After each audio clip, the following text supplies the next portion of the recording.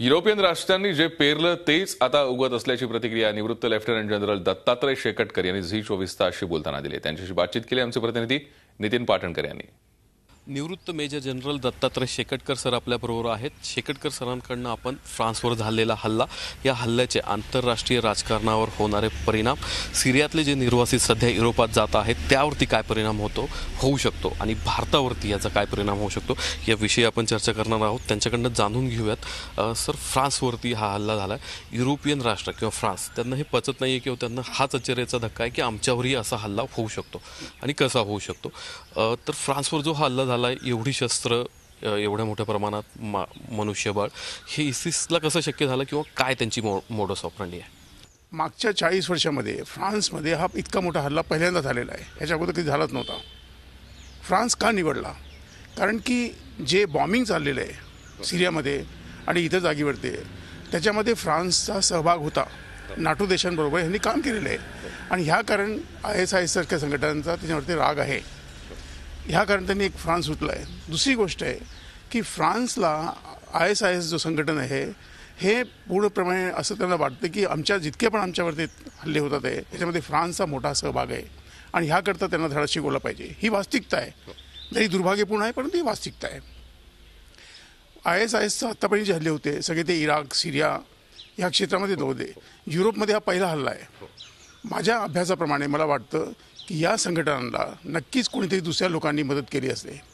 त्यांच्या मदतीशिवाय इतका मोठा हल्ला होऊ शकत नाही. नव्वद टक्के तर फ्रान्समध्ये राहणाऱ्या लोकांनीच त्यांना मदत केलेली आहे. जागा कुठे आहे शोधायचं कुठे सामान कुणी द्यायचं बॉम्ब कुठून द्यायचं ही सगळी व्यवस्था करावी लागते. युरोपच्या अनेक देशांवरती येणाऱ्या काळात हल्ले होतील ह्यात मला तरी शंका मुळीच नाही आहे. हे नक्की येणार होणार आहे. ही सुरुवात आहे. हा पहिला हल्ला आहे. आणि बहुतेक त्यांचं वक्तव्य पण येईल की आता हे तुम्ही आम्हाला पहिल्यांदा पाहिले. आता तुम्ही आम्हाला पाहाल. सर ह्याच विषयावर की तुम्ही म्हणलात युरोपीय राष्ट्रांना एकत्र येण्याची गरज आहे. या घटनेनंतर फ्रान्स पॅरिसवरील हल्ल्यानंतर आंतरराष्ट्रीय राजकारणावरती त्याचे काय परिणाम होतील? रशिया आणि अमेरिका एकत्र येऊ शकेल या सगळ्यांविरुद्ध लढण्यासाठी? बशर सदा त्यांच्याबरोबर रशिया आहेत अमेरिकेत त्यांचे विरोध आहेत. ही सगळी समीकरणं बदलते आंतरराष्ट्रीय राजकारणात? शंभर टक्के. फार चांगला महत्त्वाचा प्रश्न घेतला आहे. हा हे रशिया आणि अमेरिका दोन्ही एकत्र ऑलरेडी आलेले आहे.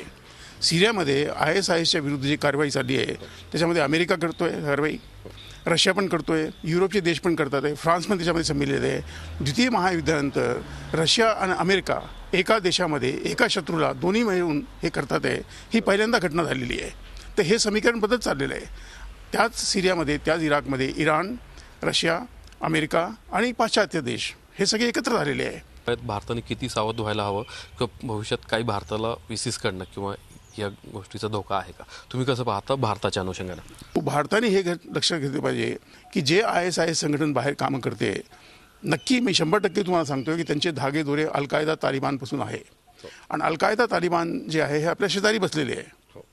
अगदी शेजारीच आहे. दिल्लीपासून फक्त तीनशे किलोमीटरवरती ते बसलेले आहे. काही लांब नाही आहे. आणि ते इथे कामं करतात आहे.